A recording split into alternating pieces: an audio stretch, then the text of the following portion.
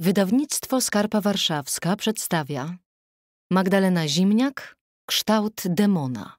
Czyta Zofia Zoń.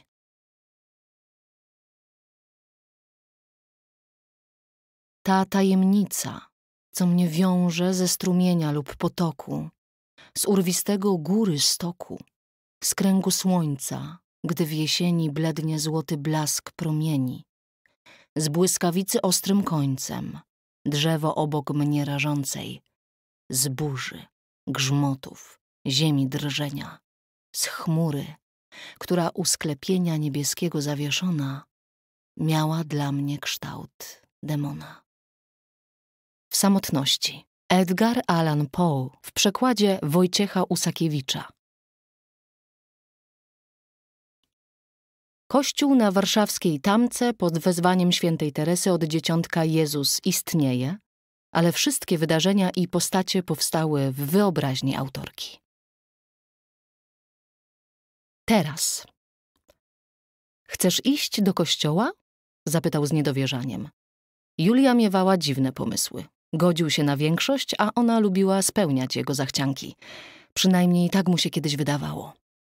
Teraz, po pięciu latach małżeństwa, nie był już tego pewien. A dlaczego tak się dziwisz? zapytała chłodno. No przecież nawet nie chciałaś wziąć ślubu kościelnego. Ukazała zęby w drapieżnym uśmiechu. Dała się namówić dentyście na wybielanie i teraz, z tymi rudawymi lokami obciętymi do linii brody i hollywoodzkimi zębami, przypominała którąś z gwiazd, chociaż Karol nie mógł sobie przypomnieć nazwiska tej aktorki, ani nawet żadnej roli.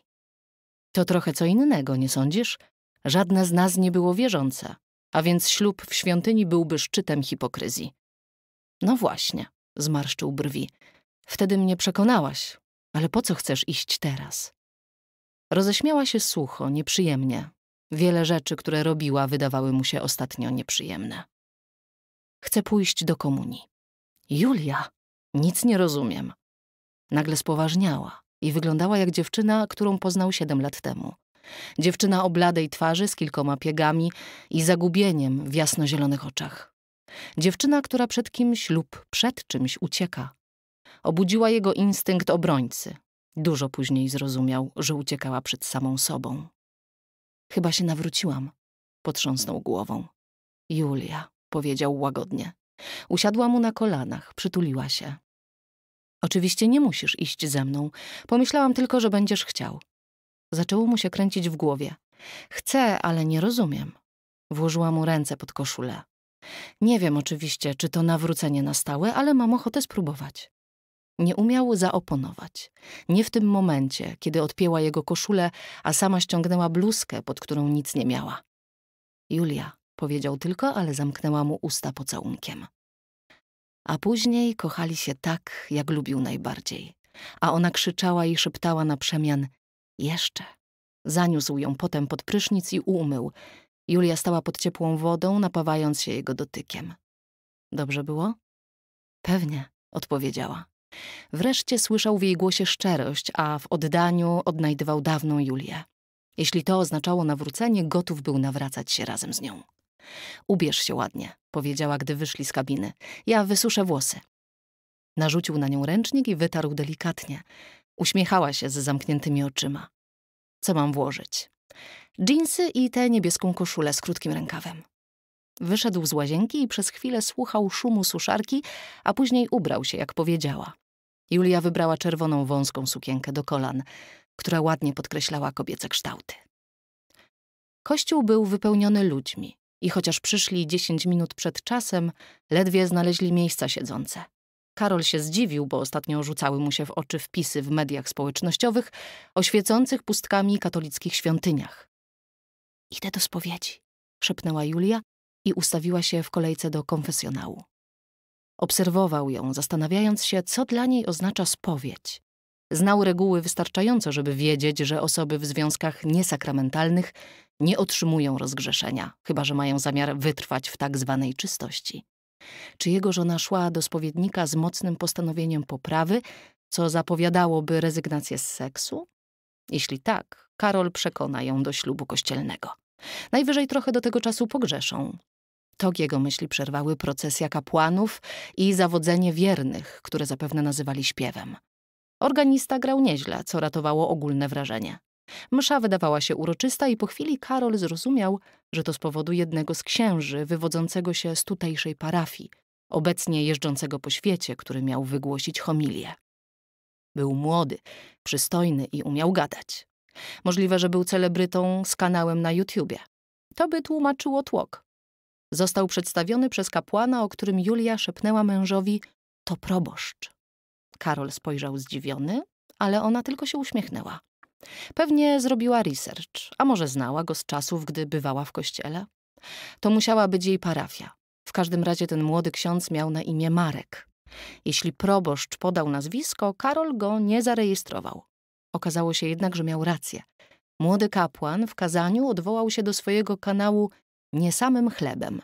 Nazwa jak nazwa, ale darmowa reklama się przyda. Żona wróciła do ławki i ścisnęła rękę Karola. Popatrzył na nią. Odwzajemniła spojrzenie. Wydawało mu się, że widzi w jej oczach łzy. Podniósł jej dłoń do ust i delikatnie pocałował. Uśmiechnęła się i odwróciła wzrok. Trzech księży udzielało komunii, ale najdłuższa kolejka ustawiła się do młodego celebryty. Julia też w niej stanęła. Było tyle ludzi, że żona po chwili zniknęła z pola widzenia Karola, chociaż początkowo podążał za nią wzrokiem. Próbował czerpać przyjemność z muzyki, ale smętne zawodzenie wiernych w tym przeszkadzało. Osoby z ławki przed nim wróciły na miejsce i klęcząc oddawały się modlitwie dziękczynnej czy czemuś tam, czemu katolicy oddają się po komunii. Miejsce obok niego pozostawało puste. Może ci ludzie byli z kolejki do proboszcza czy trzeciego księdza. Celebryta z kanału Nie samym chlebem nadal podawał opłatek, niektórym na rękę, niektórym do ust, co chyba było łamaniem przepisów sanitarnych, nawet jeśli ksiądz i niektórzy z wiernych dezynfekowali ręce. A może nie. Stan epidemii został, zdaje się, odwołany. Ostatnia osoba została nakarmiona, jak to kato talibowie nazywają ciałem Bożym i celebryta wrócił do ołtarza. Julii nadal nie było nigdzie widać. Przypuszczalnie uklękła w którejś z kapliczek, co by nawet pasowało do jej dzisiejszego niestandardowego zachowania. Msza się skończyła. Ludzie wychodzili, fałszując którąś ze smętnych pieśni. Karol się podniósł i obszedł kościół, zaglądając do każdej wnęki. Może Julia wyszła, uznając, że spotkają się na dworze. Opuścił świątynię. Słońce zaczynało prażyć. Zapowiadał się kolejny upalny dzień. Ludzie stali w kółkach i śmieli się głośno. Jego żony nigdzie nie było. Jednak na wszelki wypadek zbliżył się do każdej grupy, uspokoił oddech i ponownie wszedł do środka. Niektórzy wierni jeszcze klęczeli w ławkach, a kilkanaście osób stało w kolejce do zakrystii. Pobiegł w tamtym kierunku. Przepraszam, powiedział odsuwając starszą panią blokującą wejście. Nie zwracając uwagi na pełne oburzenia mamrotanie, wkroczył do zakrystii. Celebryta podniósł głowę z nad podpisywanej książki. Proboszcz i trzeci ksiądz, młody wikary, również odwrócili się w kierunku nowo przybyłego. Tak? odezwał się proboszcz. Szukam żony. Słucham? Proboszcz uniósł brwi. Czy nie było jej tutaj? Poszła do komunii i już nie wróciła do ławki. Wszyscy wpatrywali się w Karola, który uświadomił sobie, że uważają go za wariata. Jak wygląda pana żona? zapytał łagodnie proboszcz. Jest młoda, ładna i ma rude kręcone włosy. O, dotąd. Karol przyłożył rękę do brody. Nie było tu chyba żadnej rudej kobiety, prawda? Proboszcz zwrócił się do pozostałych kapłanów. Obaj zgodnie pokręcili głowami. Zapewne wróciła już do domu, zasugerował celebryta. W jego oczach było coś dziwnego. Litość pomieszana z drwiną, a może po prostu ciekawość. Tak czy inaczej, Karol miał ochotę zacisnąć palce na szyi klechy, ale wysyczał tylko. Nie wróciłaby do domu beze mnie. W każdym razie tu jej nie ma, odezwał się pojednawczo trzeci ksiądz. Za jego plecami było kolejne pomieszczenie. Karol ruszył w tamtym kierunku. Ej, co pan robi? usłyszał głos proboszcza. Wbiegł do drugiego pokoju i otwierał szafy, wyrzucając zawartość na podłogę. Proszę przestać, proszę stąd wyjść, bo zadzwonię na policję. Nie ma potrzeby. Wyprowadzimy pana. Dwóch wysokich mężczyzn ujęło Karola za łokcie. Szarpnął się. Pójdę sam. A więc proszę wyjść. Nie miał tu czego szukać. Może Julia z jakichś przyczyn rzeczywiście poszła do domu. Wszyscy na niego patrzyli, ale znów miał wrażenie, że celebryta przygląda mu się inaczej niż inni. Biegł, aż zabrakło mu oddechu. Trzeba więcej trenować. Na górę wszedł już wolniej. Julia! zawołał od progu. Mieszkanie było puste. Zadzwonił na numer żony, ale telefon odezwał się w łazience. Co teraz? Proboszcz groził kontaktem z policją, ale to najprawdopodobniej był blef. Julia znikła w kościele i to oni musieli za tym stać. Karol wybrał numer alarmowy. Chciałem zgłosić zaginięcie żony. Chwileczkę. Gdzie? Warszawa, śródmieście. Gdy połączono go z odpowiednimi służbami, opowiedział, co się zdarzyło. Słyszał, jak to brzmiało. Moja żona poszła do komunii i nie wróciła. Nie przypuszczał, żeby został potraktowany poważnie, ale policjantka, która z nim rozmawiała, zapisała dane Julii i numer kontaktowy do Karola. Zgłoszenie zostało przyjęte, oznajmiła. Żeby nabrało mocy, proszę przyjść na komendę i podpisać. Gdzie? Podała adres. Mnie już nie będzie, zostawię papiery policjantowi dyżurnemu. Dobrze. I wtedy zaczniecie jej szukać? Jeśli żona nie wróci do jutra, będę chciała z panem porozmawiać osobiście. Nazywam się Krystyna Farkas. Do jutra? Powtórzył słabo. Ktoś ją porwał, a wy nie zamierzacie nic z tym robić do jutra? Ktoś ją porwał z kościoła? Tam był tłok i nikt nie zwróciłby uwagi na jakieś zawirowanie. Dlaczego uważa pan, że ktoś ją porwał? Nie rozumiem. Kto miałby ją porwać i z jakiego powodu i dlaczego z kościoła? No właśnie nie wiem. A może sama chciała sobie zrobić trochę wolnego? Nie, zareagował gwałtownie. Dlaczego jest pan tego taki pewien? Bo, zająknął się, ona, ja, my kochaliśmy się tuż przed wyjściem. Aha, powiedziała obojętnie policjantka. Jeśli nie wróci do jutra, niech pan przyjdzie do mnie na posterunek, powtórzyła. Tymczasem proszę podpisać papiery i skontaktować się z rodziną i znajomymi. Być może jest u kogoś. Ale, zaczął protestować Karol, zanim pan przyjdzie jutro, proszę zadzwonić. Podała numer komórki. Do widzenia. Policjantka zakończyła połączenie. Karol przez chwilę wpatrywał się w aparat, po czym odłożył go delikatnie na stół. Może ta baba z policji miała rację.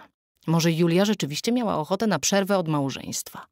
Instynkt mówił co innego. Poranny seks przekonywał, że żona nigdy by mu tego nie zrobiła, ale z drugiej strony od kilku tygodni, a może nawet dłużej, Julia sprawiała wrażenie kogoś innego.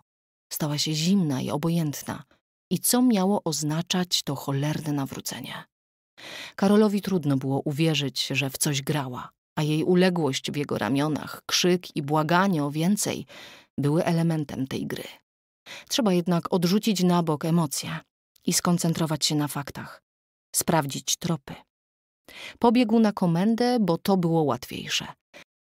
Gdy po powrocie nie zastał żony w domu, przystąpił do działania. Zapewne większość młodych kobiet przeżywających kryzys małżeński. Coś się w nim buntowało na to określenie, ale może Julia naprawdę uważała, że przechodzą przez kryzys. To by tłumaczyło dystans przełamany dopiero dziś rano. Szukałaby schronienia u rodziców. Z teściową lepiej nie rozmawiać, to histeryczka. Jeśli Julii tam nie ma, wpadnie w panikę, gdy tylko się dowie, że córeczka zniknęła. Karol wybrał numer teścia, który przywitał go umiarkowanie entuzjastycznym. Cześć, Karol. Hej, Kajetan. Karol urwał. Nagle przeraził się tego, co usłyszy, chociaż nie miał pojęcia, czy bardziej boi się, że żony nie ma u teściów, czy też, że jest. Jeśli tam poszła, nic mu nie mówiąc, to można porównać chyba tylko do ucieczki panny młodej sprzed ołtarza. Halo, jesteś tam? Tak, tak. Nie ma u was Julii? Nie. Odpowiedź padła natychmiast. A nie jest z tobą? W normalnych warunkach Karol pomyślałby, że teść zadaje pytania poniżej poziomu własnej inteligencji. Teraz tylko odparł słabo: No nie. Jak to? Karol nabrał powietrza w płuca. Chciała pójść do kościoła i do kościoła, przerwał zdziwiony teść. Za to akurat Karol go nie winił.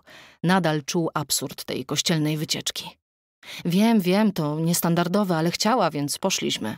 Wyspowiadała się i ustawiła w kolejce do komunii, a potem nie wróciła do ławki. Msza się skończyła. Szukałem jej wszędzie. Poszedłem do zakrystii, obszedłem kościół i w końcu wróciłem do domu. Nie ma jej. Wyrzucił informację, niemal nie robiąc przerw i poczuł zmęczenie, prawie jak po biegu z kościoła. Nie rozumiem. Teść za to mówił wolno, wyraźnie akcentując każde słowo. Poszliście do kościoła na prośbę Julii, a ona zniknęła po komunii? Nie wiem, czy po, czy przed. Tam było tak dużo ludzi, że jej nie widziałem. Do którego kościoła? Do najbliższego, na tamce. Teść milczał, jakby zastanawiał się nad znaczeniem miejsca. Na tamce, powtórzył w końcu. Zawiadomiłeś policję? Tak, ale powiedzieli, żeby poszukać w rodzinie i u znajomych, a jeśli się nie znajdzie do jutra, przyjść znowu na posterunek. Dobrze. Teść nadal mówił z przesadną starannością. Zajmij się więc znajomymi, a ja obdzwonię rodzinę. Jeśli nigdzie jej nie ma, musimy się spotkać i ustalić plan działania. Gdy Kajetan się rozłączył, Karol przez chwilę wpatrywał się w ekran komórki. Całe szczęście, że teść zajmie się rodziną. Prowadzenie rozmowy z Adelą, starszą siostrą Julii, wydawało się Karolowi jeszcze bardziej odpychające niż perspektywa konwersacji z ich matką. Szwagierka na stałe mieszkała w Sydney, ale z jakiegoś dziwacznego powodu postanowiła zostawić na pół roku australijskiego męża, a sama kupiła w Warszawie mieszkanie. Od lat nie odwiedzała Polski, a tu rachciach. Mieszkanie, przyjazd. Karol od razu zapałał do niej antypatią. Niechęć była obopólna, a jedyna różnica polegała na tym, że on starał się być miły, podczas gdy Adela nie zwracała na niego uwagi, a jeśli zadał pytanie, odpowiadała półsłówkami albo udawała, że nie słyszy. Może to nawet ona była przyczyną nagłego chłodu Julii. Wyrzucił z głowy myśl o szwagierce i wybrał numer Weroniki, o której jego żona zawsze mówiła przyjaciółka. Inne były koleżankami lub znajomymi. Halo? Wera odebrała od razu, a w jej głosie Karol wyczuł zdziwienie. Nigdy wcześniej do niej nie dzwonił, ale któregoś wieczoru Julia objęła ich oboje i kazała im wpisać kontakty. Jesteście ludźmi, których kocham najbardziej, powiedziała wtedy. Hej Werka, tu Karol. Tak, wiem, mam wpisany twój numer. Właśnie, odpowiedział głupio. Słuchaj, czy jest u ciebie Julka? No nie, jestem teraz na konferencji w Monachium i wracam we wtorek, ale dlaczego? Nie mam pojęcia, gdzie jest. Wszedł jej w słowo. Czy możesz przesłać mi kontakty do waszych znajomych? Poczekaj, jak to nie masz pojęcia, gdzie jest? No nie mam. Byliśmy w kościele, poszła do komunii i już nie wróciła. Co takiego? W kościele? Weronika zareagowała jak teść. Twierdziła, że się nawróciła. Nie wierzę. Niemożliwe. Tak mi powiedziała. No okej, okay. Tak powiedziała. Ton Weroniki brzmiał pojednawczo. Ale nie rozumiem, mruknęła. Ja też, ale to nieistotne, wybuchnął. Nie teraz, dodał ciszej. Teraz muszę się dowiedzieć, gdzie jest. Dobrze, podzwonię do ludzi, obiecała. Ale chyba muszę mieć kontakty, policja pewnie będzie pytać. Policja? Po raz pierwszy usłyszał w głosie Weroniki niepokój. No, policja. Mogła zostać porwana. Z kościoła? Wiem, jak to brzmi, ale z drugiej strony, dlaczego miałaby uciekać z kościoła? Dlaczego w ogóle miałaby uciekać? Ode mnie. Z niezadowoleniem odnotował, że przybrał ton urażonego dziecka. Mówiła ci, że coś jej we mnie nie pasuje? Do tego stopnia, że chce uciec? Nie, nie, odpowiedziała Weronika szybko. Nie do tego stopnia. Co? Kiedy ją ostatnio widziałaś? Jakiś miesiąc temu. I co? Mówiła, że... Mówiła, że nie ma ochoty na seks, bo wasze zbliżenia nie odbywają się na jej warunkach. Stłumił impuls, żeby rzucić telefonem w najdalszy kąt pokoju i zapytał, co dokładnie mówiła. Tylko tyle. Powiedziałam, żeby pogadała z tobą, a ona się roześmiała. Roześmiała się. No tak. Powiedziała, że tyle to ona też wie. Miała kogoś innego? No co ty? Ona jest krystalicznie uczciwa. Gdyby miała zamiar wdawać się w romans, najpierw zerwałaby z tobą. Dobrze, Wera, podzwoń do ludzi i prześlij mi kontakty? Okay? Jasne. Nie rzucił telefonem. Nadal trzymał go w ręku, wpatrując się w ekran, jakby oczekiwał, że wyjaśni mu znaczenie słów. Nie na jej warunkach. Krystalicznie uczciwa. Potem zadzwonił do znajomych, których można było określić mianem wspólnych. Nikt nie miał pojęcia, gdzie jest Julia.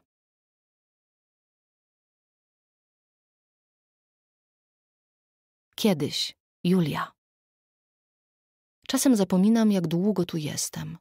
To pewnie przez te środki, które wciskają we mnie codziennie. Na szczęście na początku zażądałam kalendarza, mi przyniosła.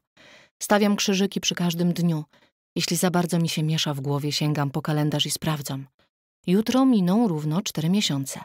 A doktor Żyromski, mój prowadzący, twierdzi, że przed piętnastymi urodzinami, które wypadają za 26 dni, powinnam być w domu. Robię postępy. Czasem zastanawiam się, czy chcę wrócić. Tęsknię za rodziną, może nawet za szkołą, ale się boję. Już wiem, że wszystkie straszne rzeczy działy się tylko w mojej głowie. Mimo to boję się, że znów będę doświadczać halucynacji, kiedy tylko przestąpię próg naszego mieszkania. Znów będę uciekać stamtąd z krzykiem. Doktor Żeromski mówi, że nie wypuści mnie, dopóki nie pokonam tego strachu. Irracjonalnego, dodaje, i zgadzam się z nim, przynajmniej podczas naszych sesji. Klinika jest idealna, tak wyraziła się mama, która miewa skłonności do przesady, ale rzeczywiście bywają momenty, że czuje się tu jak na wakacjach, a nie u czubków. To prywatny zakład i chociaż tata sporo zarobił na ostatniej książce, rodziców nie byłoby stać na opłacenie mojego pobytu tutaj, gdyby właściciel nie był przyjacielem mamy z dawnych czasów. Teraz jest przyjacielem obojga rodziców i często u nas bywa. Jestem pewna, że dostali duży rabat. Zbliżam się do okna. W taki dzień jak dzisiaj można napawać się pięknem sosnowego lasu otaczającego dworek, w którym mieści się klinika. Lazurowe niebo bez jednej chmurki i soczysta zieleń drzew działają na taką idiotkę jak ja. Chyba nie tylko. Marek, którego uważam za twardziela i może dlatego tak się do niego zbliżyłam, powiedział mi ostatnio, że chciałby kiedyś mieć dom w takim miejscu. Marek jest jeszcze jednym powodem, dla którego nie chcę stąd wychodzić. Lubię go. Żadnego chłopaka jeszcze tak nie lubiłam. Nie, żebym się zakochała czy coś takiego, ale czuję się przy nim bezpieczna. To może dziwić, bo skoro się tutaj znalazł, jest takim samym wariatem jak ja. Na samym początku zapytałam, dlaczego jest u czubków, a on wzruszył ramionami i mruknął. Depresja. Dopiero przedwczoraj przyznał, że kilka razy próbował popełnić samobójstwo. Jest zatem delikatniejszy niż wydaje się na pierwszy rzut oka. Pielęgniarka wchodzi bezceremonialnie. Większość personelu udaje, że szanuje naszą prywatność i puka, ale pani Edyta nie zawraca sobie głowy pozorami. Łyknij lekarstwa, podaje mi tabletki. Wykonuję polecenie i uśmiecham się do niej. Dzień dobry, mówię. Kręci głową. To się jeszcze okaże. Śniadanie za dziesięć minut. Kładzie rękę na klamce. Tak, mam w pokoju klamkę, a ja posyłam jej buziaka. Wzdycha głęboko i wychodzi. W gruncie rzeczy ją lubię. Niczego nie udaje, ale w razie nagłych wypadków staje po naszej stronie. Kiedyś nakryła Marka, gdy wychodził ode mnie o dwudziestej drugiej. Zaprowadziła go do męskiej części, tłumacząc spotkanemu lekarzowi, że biedny chłopak miał koszmar i wpadł do jej dyżurki. Dwudziesta jest godziną, jak ją tu nazywamy policyjną, wtedy bezwzględnie musimy przebywać w naszych pokojach. Gdyby zgłosiła, że tego nie przestrzegaliśmy, groziłby nam tak zwany areszt domowy. Mielibyśmy zamykane pokoje, a wyjścia tylko na posiłki, terapię i spacery w towarzystwie pielęgniarki. A może nawet przeniesiono by nas do izolatki.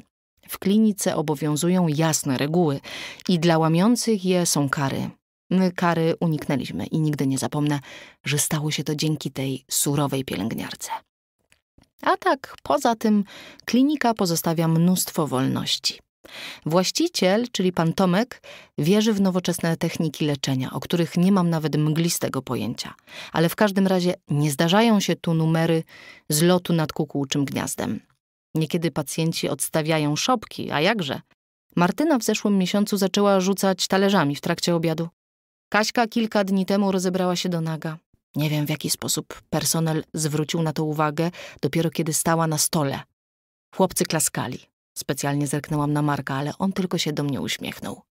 Janek bezustannie mruczy pod nosem jakieś świńskie kawały, a kiedy prosi się go, żeby przestał, wybucha głupkowatym śmiechem. No dobra, takie dzieciaki trafiają do czubków, nie? Zdrowi nie potrzebują lekarza.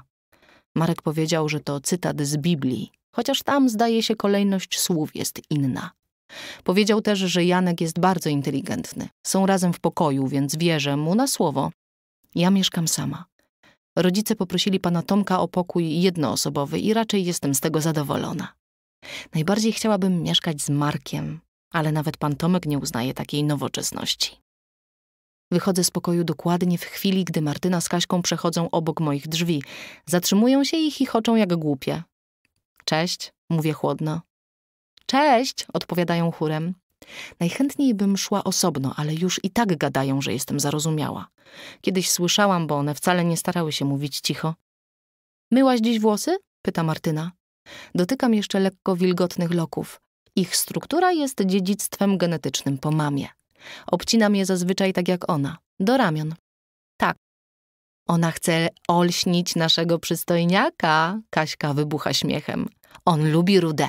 A tu dotyka mnie między nogami, a ja odskakuję jak oparzona. Też jesteś ruda? Hej, Martyna chwyta ją za ramię. Przesadziłaś. Wiesz, jaka ona jest? Zwraca się do mnie. Ma obsesję na punkcie seksu. Kurwa! Kaśka popycha Martynę tak mocno, że ta uderza o ścianę. Sama masz obsesję z Giro. Martyna policzkuje Kaśkę, a ta upada na ziemię. Powinnam się przyzwyczaić do takich scen, ale nie wiem, co zrobić.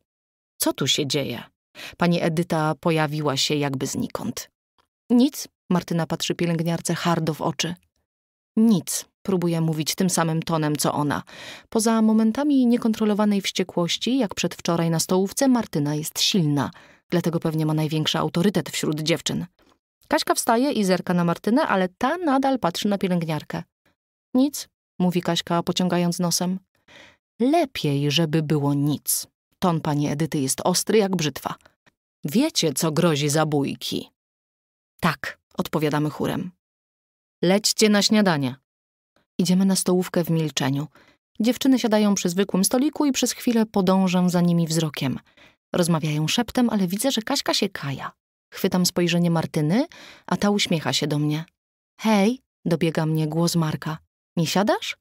Janek, który siedzi obok niego, je zupę mleczną, gadając do siebie. Cześć, siadam, siadam. Coś się stało? Pyta, gdy zaczynam smarować bułkę z masłem. E, nie. Za nic nie opowiem o naszej dziewczyńskiej konwersacji. Rozglądam się i dodaję szeptem. Zaczęły się bić. Marek wybucha śmiechem. Pewnie miałby ochotę zobaczyć damskie zapasy. Przyglądam się uczestniczkom ledwie rozpoczętej bójki i widzę, że wszystko wróciło do normy. Kaśka znów jest pieskiem Martyny. Miałabym ochotę zaprzyjaźnić się z silną dziewczyną, tym bardziej, że nigdy nie miałam prawdziwej przyjaciółki, ale coś mi mówi, że Martyna nie jest szczera. Może nawet podpuściła Kaśkę i dlatego ona się tak wściekła. Chyba lepiej przyjaźnić się z facetami. Oni są bardziej prostolinijni, szczególnie Marek. Po śniadaniu mamy czas wolny, więc chodzimy z Markiem po terenie. Wolimy nigdzie nie siadać, bo zawsze znajdzie się jakiś palant, który przycupnie obok, a wtedy nici z normalnej rozmowy. Wypisują mnie pojutrze. To jest jak niespodziewany cios w brzuch. Gwałtownie staję i prawie zginam się w pół. Co? Wypisują mnie, powtarza. Ja przecież też niedługo mam zostać wypisana, ale spodziewałam się, że to ja go opuszczę, a nie odwrotnie. Nie chcę zostać tu sama. Nie chcę. Nawet tych kilku tygodni, nawet dnia. Nie chcę. Hej, Marek kładzie mi rękę na ramieniu. Przecież to nie znaczy, że stracimy kontakt. Nie chcę płakać. Może kiedyś znajdę się w swoim pokoju. Zaczynam iść. Marek na moment zostaje w tyle, później zrównuje się ze mną. Smutno ci? Nie, odpowiadam przez ściśnięte szczęki.